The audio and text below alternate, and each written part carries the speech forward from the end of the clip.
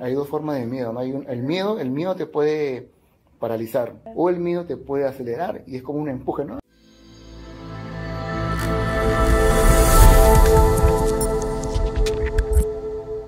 Hay cosas que uno ya lo viene desde que uno es niño, hay muchas cosas que la gente, por eso que no se conecta con el dinero, ¿no? La gente, hay gente que no se conecta con el dinero por la razón de que dice, esta persona tiene un carrazo, tiene una casa grande, está metido en drogas, ¿no? Siempre eso es lo que, lo que uno piensa, ¿no? Eso que la persona no se conecta con... ellos le- la gente le gusta lo que hace el dinero, pero no están conectados con el dinero. Mientras tienen esa idea, no vas a, no vas a poder avanzar, no avances, porque eso, eso pasa. Entonces, cuando estás creciendo, si tus padres comentaban eso, llega un momento que tú dices, no, pues tener dinero es malo, entonces ¿Para qué? Entonces no, no, no te deja crecer. Pero si estás aquí, probablemente también vas a encontrarte con lo mismo, solo que poco a poco tienes que ir cambiando ese chip del concepto del dinero. Porque si te- tú te quieres conectar con el dinero, tú tienes que saber que el dinero es, es bueno, ¿no? El dinero te puede dar felicidad. Pero hay gente que dice, el dinero no, te, no, el dinero no te da felicidad.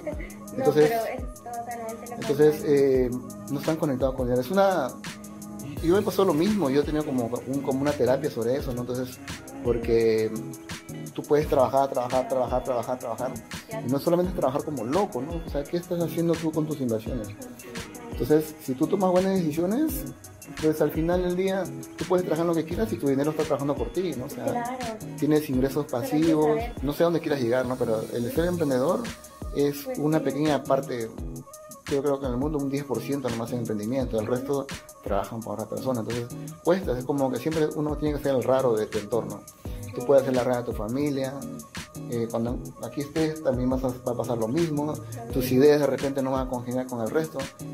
Y justamente el ser diferente es lo que te permite pues este escalar y siempre va a ser un reto. Si tú te vas a lo seguro, es lo que te decía por teléfono, vas a ir trabajando en cualquier lugar donde tienes tu cheque, pero ese es tu techo.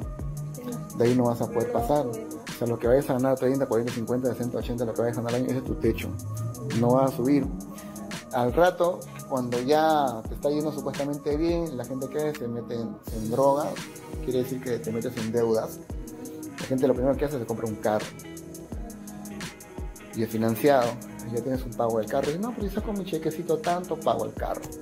Al rato de repente por ahí te juntas con alguien, qué sé yo, lo que pasa, y dices, "Ah, vamos a comprar una casa. Ya tienes otra segunda deuda, que es una hipoteca, el carro, ¿no? Si tienes hijos ya con eso ya se completa todo porque de ahí tienes que pagar más. Entonces estás en el círculo, en ese círculo de esa, donde está el gánster corriendo mes a mes. Pagas, trabajas y pagas tu cheque. Entonces no, no te permite escalar porque la gente busca lo seguro.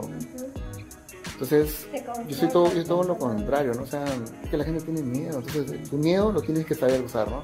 El miedo es bueno y mientras más grande sea el reto es más interesante, ¿no?